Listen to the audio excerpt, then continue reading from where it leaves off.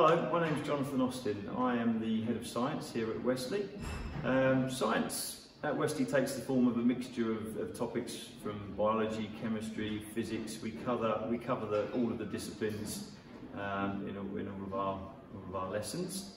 Um, as you can see, we, we have dedicated laboratories. This is Lab A that I'm in at the moment, my lab. We have Lab B next door, so we have two dedicated laboratories kitted out with gas taps, main sockets, sinks, all of our safety equipment, goggles, a lot of the equipment stored in here as well. Uh, we also have a prep room, um, kitted out again with all of our chemicals, etc. and a, a, dedicated lab technician to help us with preparing the lessons and, and get, making sure that everything is ready.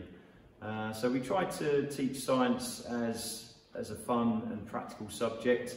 Try and make it as practical as we can for the children. So even from year five, we are starting to get them looking at Bunsen burners and things that they wouldn't necessarily be able to use until year seven in a high school. Uh, we have a de dedicated team of science specialists, so we, we teach our specialist subjects, but also we teach across the board the science, the, the chemistry, the physics, the biology topics. So they, the pupils get a good range of, of different topics covered from year five through to year eight.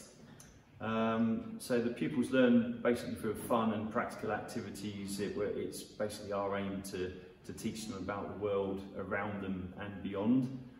Um, so hopefully by the time the pupils have, have left us here at Westley, we, we hope to have given them the, the scientific knowledge and the skills, the inquiry skills to, to go on to become the scientists of the future.